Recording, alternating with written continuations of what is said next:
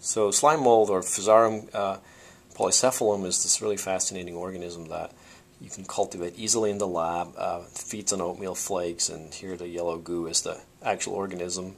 It builds this elaborate network um, to um, connect the food sources together and, and, get to nutrition from the oatmeal flakes, and uh, you can um, use that for performing computations. And Andy Adamatzky he wrote a whole book about that, Physarum machines, computers from slime mold.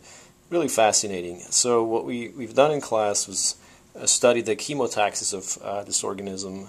Uh, it's a very primitive form of intelligence, and we use that as a showcase for uh, adaptive systems and adaptation in nature. You can take it off, yeah.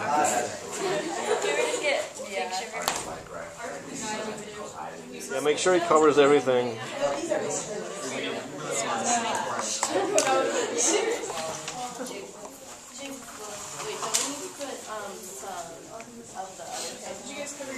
That's a cyclops.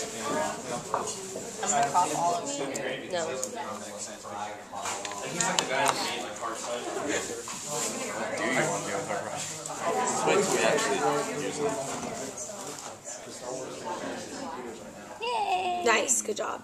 Wait, I can never. Am I supposed to put the slime?